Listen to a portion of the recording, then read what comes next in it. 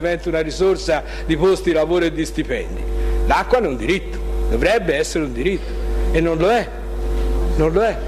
Allora, quando si parla che la TIA gli si è presa ai cittadini i soldi dell'IVA trasformando una tassa in tariffa e che oggi non ci sta nessuna intenzione di rendere quei soldi che si è preso in più, questo lo facciamo attraverso le nostre partecipate, che sono private, sono SPA, ma non sono privati, perché nessuno può entrare in concorrenza con questi privati.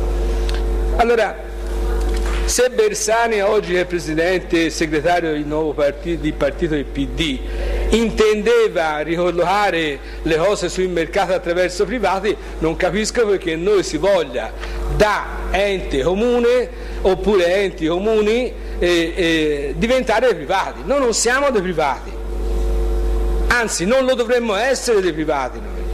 Se è vero che noi si dovrebbe garantire lo sviluppo di un territorio, ma non si deve mica garantire lo sviluppo del territorio in concorrenza con poi privati che ci sono sul territorio a fare formazione e sviluppo. Che poi a quanto pare noi si è formato e sviluppato abbastanza poco, perché in questo momento il mercato è veramente un mercato ridotto all'osso e non riesce, non riesce a trovare alternative per, per, portare, per, per uscire. Ripeto, noi avevamo un territorio, abbiamo un territorio che era vocazione agricolo, per vocazione artigianale, per vocazione piccola e media industria. Oggi abbiamo un, un territorio vuoto completamente dalle aziende. Avevamo medie aziende stanno sparendo, ora si è visto in questi giorni anche la Testi che, che noi si, è dato tutta, eh, tutta la possibilità di di, di, svilupparsi il nostro territorio, alla fine, alla fine anche questi tendano a subire il mercato. Noi non abbiamo fatto niente per il credito. Quando si, fare, si, parla di formazione, noi si forma persone che non potranno accedere al credito, perché nel nostro sistema bancario, anche quello territoriale, e anche attraverso le nostre trattative non riusciamo a far accedere al credito gli artigiani, al credito i commercianti. Allora noi come possiamo pensare di fare uno sviluppo in questi termini Forse sarebbe meglio pensare a noi, eh, siccome quando si mette insieme su delle, stru delle, strutture che spesso sono dei baracconi, noi si comincia a vedere allora un presidente, un vicepresidente, cinque consiglieri, 400 comuni, sette macchine, la... no, perché questo è succede che questo succede. Allora io voglio sapere, alla fine si dovrebbe essere un budget eh, che va in positivo per la collettività, quanti posti di lavoro abbiamo creato, quanta formazione abbiamo fatto, non quanto, quanto abbiamo preso i finanziamenti e quanto ci è rimasto di utile. Perché se per il cittadino aver avuto 5.000 euro o 100.000 euro di utile ha significato spendere un milione di euro per, per tenere un baraccone in piedi, io vorrei sapere se, se c'è stato un utile o c'è stato un'altra volta una grossa rimessa da parte della collettività. Allora, io, forse sarebbe meglio fare, dare una telefonatina a Bersani e chiedergli consiglio su cosa intendeva con, con questo. Noi chiaramente non, non, farò nemmeno, io personalmente non la farò, se qualcuno la può fare a dichiarazione voto, eh, votiamo perché è il nostro diritto e dovere votare, qui si vota sicuramente contrari a una cosa di questo genere. Grazie consigliere. Altri interventi?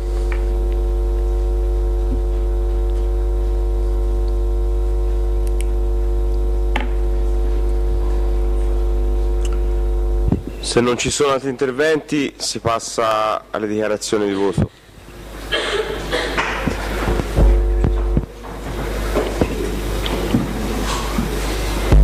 Bene, allora a questo punto dichiaro chiusa la discussione e si passa alla dichiarazione di voto, quindi i 5 minuti al gruppo. I consiglieri vogliono intervenire sono... possono farlo.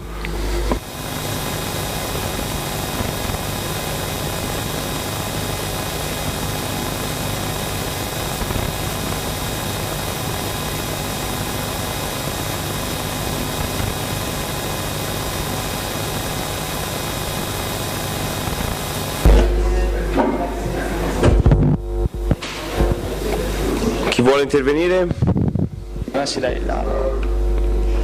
Sì, grazie Presidente. Consigliere Bini, prego. Sì, nel ribadire che i nostri gruppi voteranno contro a questa delibera, vorrei un po' rispondere anche a quelle che sono state alcune critiche mosse dai banchi della maggioranza. Cioè noi non, non avanziamo un dubbio sul fatto che questa società stia nel mercato abbia partecipazione privata, cioè una società che deve fare da trade union tra il mondo della ricerca, come l'avevamo pensata noi in campagna elettorale, e lo sviluppo è chiaro deve avere la partecipazione anche di capitali privati, secondo noi. Il problema è che questo è il tipo di società per come l'ho descritto prima, cioè che è una società specializzata in servizi alle aziende e in formazione professionale, che potrebbe essere una società benissimo totalmente privata, cioè non vedo la necessità di avere in quella società eh, una presenza pubblica, cioè non la qualifica secondo me. La società che proponevamo noi, per esempio, era una società che facesse altro, l'ho già detto prima, e che fosse composta a livello appunto di assetto societario dagli enti pubblici del territorio, dall'università e anche magari da istituti di credito, dalle grandi imprese del territorio, rappresentate per esempio da Assindustria.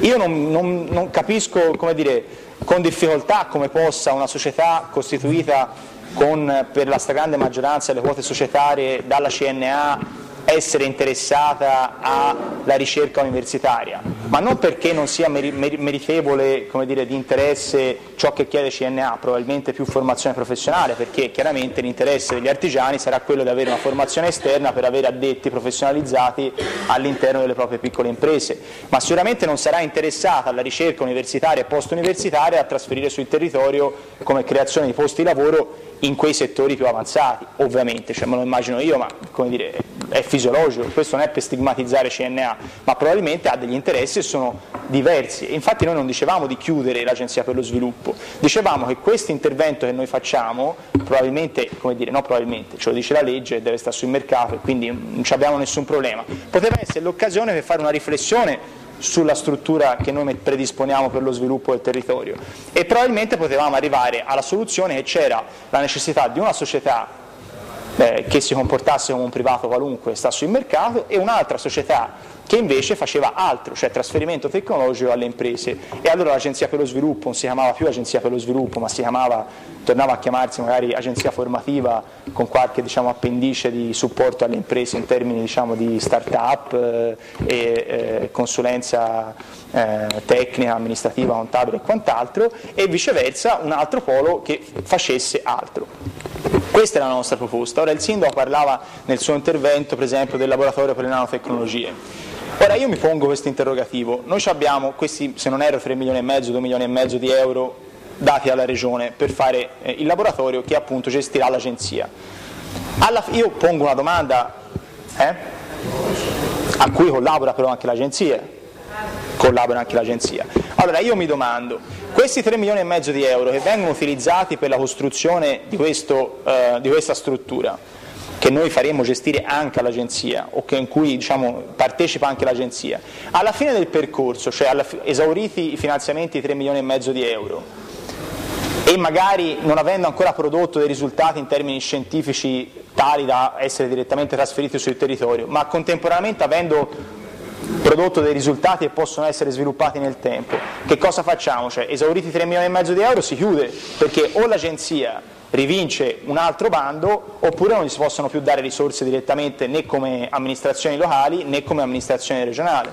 Cioè voglio dire, quello che noi pensavamo come braccio operativo era un luogo a cui si trasferivano risorse non per scavalcare la concorrenza del mercato, ma perché dovesse essere quello strumento pubblico per indirizzare lo sviluppo del territorio, dove poi le imprese in concorrenza, come dire, fanno quello che devono fare le imprese in concorrenza. Altra cosa è l'agenzia che sta in concorrenza insieme a altre imprese che fanno formazione e consulenza e che, come dire, sta nel mercato eh, privatamente come ci stanno altre imprese. Io vorrei fosse chiaro questo, cioè noi non abbiamo nessun problema né a parlare di partecipazioni private nelle società né a parlare eh, di stare in concorrenza sul mercato, dipende per cosa facciamo questo, perché è evidente che noi dire, stiamo parlando di una partecipazione pubblica in una società di tipo privato, ci piacerebbe che fosse dire, indirizzato all'interesse del, dello sviluppo del territorio e non meramente dire, a partecipare ad una roba che sinceramente potrebbe essere gestita anche da privati. Grazie consigliere. Altre dichiarazioni? Dimulas, prego. Allora, io in quanto rappresentante dell'Italia dei Valori eh, voterò a favore di questa delibera perché ritengo che un maggiore libertà